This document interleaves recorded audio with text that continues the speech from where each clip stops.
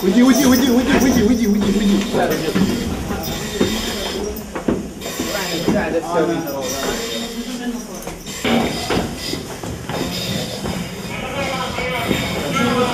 Возгорание в общежитии медуниверситета на Воробьева произошло в 11 часов дня. Уже за полчаса силами спасателей пожар в комнате на третьем этаже был полностью ликвидирован. Спасательными подразделениями в ходе э, разведки и спасательной операции было установлено, что была, горела комната на третьем этаже э, на площади 30 метров квадратных.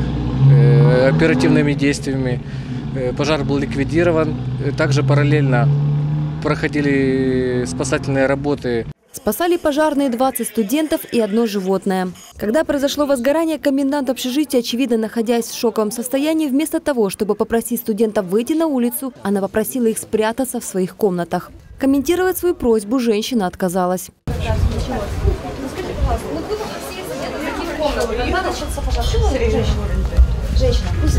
Тушение пожара и эвакуация жителей общежития осложнялась сильным задымлением третьего, четвертого и пятого этажей. В ликвидации пожара были задействованы 9 единиц пожарной техники и 35 спасателей. В результате никто не пострадал, а напуганное животное вернулось к хозяину. По неофициальной информации, причина возгорания – замыкания. В течение последних двух суток в некоторых комнатах общежития отсутствовал свет. Дарья Сидоровская, Александр Нелупов, Думская ТВ.